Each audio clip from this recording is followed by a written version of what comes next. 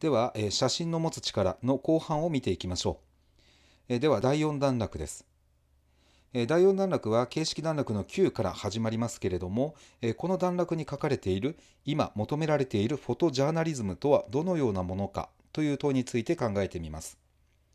えこれはですね、えもう諦めであったりだとか押し付けであったりとか、えそういうものではないというふうに言っていますね。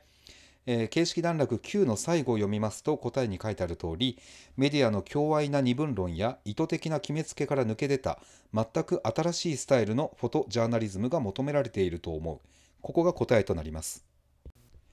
えここでいう強愛な二分論というのはですね物事を、えー、強愛というのは狭いという意味ですけれども、えー、狭い2つに分けてしまうということ、えー、例えばどちらが正義でどちらが悪とかどちらが善でどちらが悪であるとか、えー、そういうふうに決めつけのように、えー、スパッと2つに分けてしまう、まあ、これは後ろにある通り意図的な決めつけ、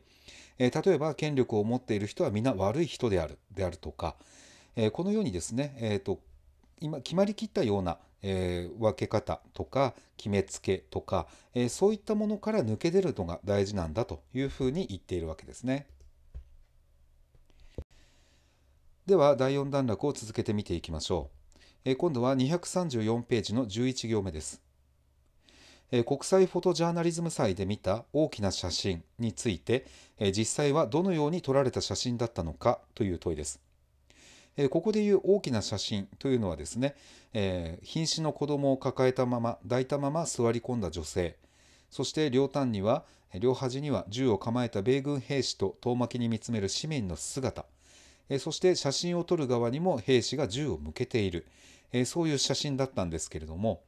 えこれは実際にはどのように撮られた写真だったかというと234ページの最後にある通りハリウッドで撮影されたと一人のアーティストがエキストラを使って撮ったんだというふうに書かれています。えとするとこれは実際の風景を撮った実際の場面を撮ったのではなくて、えこのように撮りたいと思ったスタイルをですねスタイルというかシーンをその場で作って、えあえてそれを撮ったということになるわけです。では筆者はその写真にどのような感想を抱いたのかという質問ですけれどもこれは形式段落の11番に書かれていますね。この写真を見てやらせ写真だと非難する記事を書いた日本人ジャーナリストもいる一方で筆者はそうは思わなかったと言っています。じゃあどのように思ったのかということですけれども、まあ、ここではですね11段落の後半部分をそのまま使えばいいでしょう。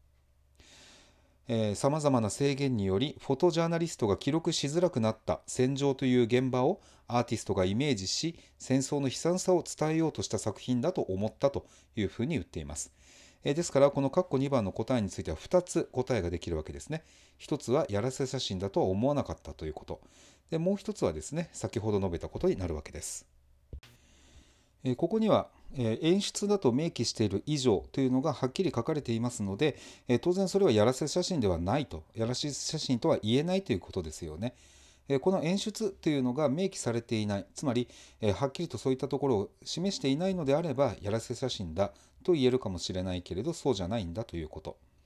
でそこから導かれることとして何を言いたかったのかというと、まあ、実際戦場という現場にですね足を運んで写真を撮ることが難しい以上えアーティストがですね戦場という現場がこのようなものであろうということをイメージして、えそして悲惨さを伝えようとしたんだというふうに、えここでは取っているわけです。では、えそのようなことを考えた筆者はですねどのような意見を、えここから導き出して述べているかということです。これは形式段落の12番のところを見ていくと書かれていますね。後半の方に主催者がこの作品を展示した意図はというふうにあります。なんでこれを展示したかというと私たちのフォトジャーナリズムを見直すためだったのではないか。ここからですね筆者が答えを導き出そうとしています。事実かそうでないかではなくそこから何を感じ私たちは何に目を向けるべきなのかが問われているのではないだろうか。問いかけの形をとっていますけれどもこれが筆者の意見となるわけです。さあそれでは第4段落を読み進めていきましょう、えー、今度は236ページの2行目です、えー、ここにですね写真で戦争を表現する試みという言葉があります。えこの試みにおいて大切なことは何か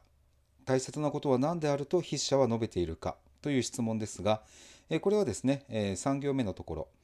えあるいは2行目の最後のところからと言えばいいですかね。見えない部分伝えられないところまで想像させ戦争そのものの悪に切り込んでいくことがより大切なのではないかと言っていますのでこの部分が筆者の考える大切なことだと言えるわけです。さあ、えこのようなことが大切であると考える筆者はですね、え次の質問です、えそのためにフォトジャーナリストに求められることは何かフォトジャーナリストは何を求められているのかということですね、えこれについて考えてみます。えそうすると236ページの4行目「そのためには」という言葉がありますので、えその後ろにフォトジャーナリストにとって求められていることがまとめられているとわかるわけですね。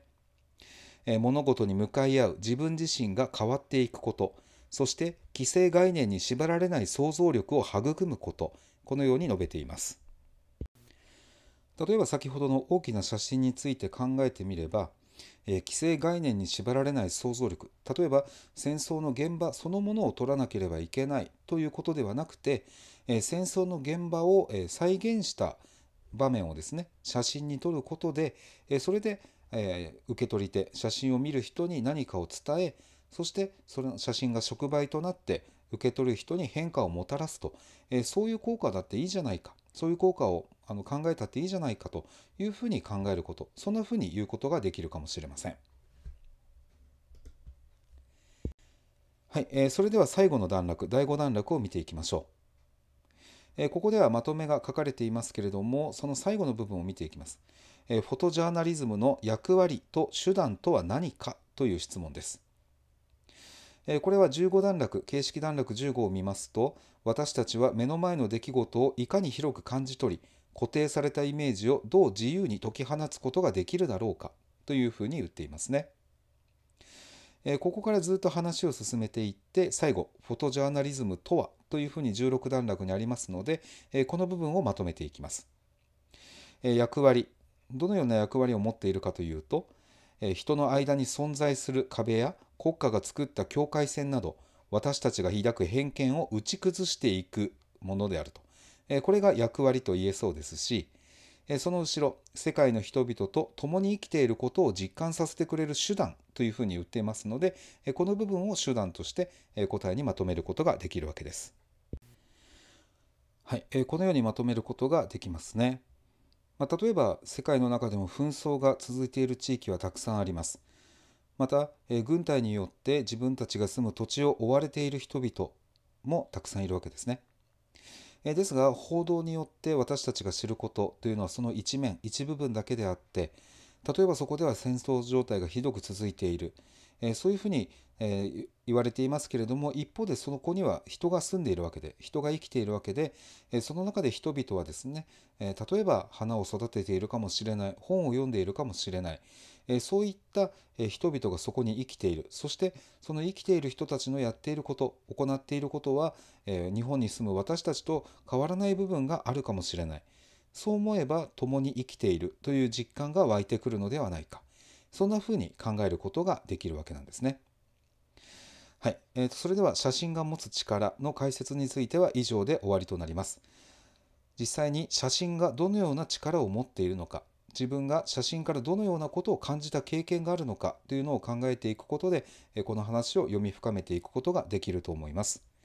では解説は以上で終わります。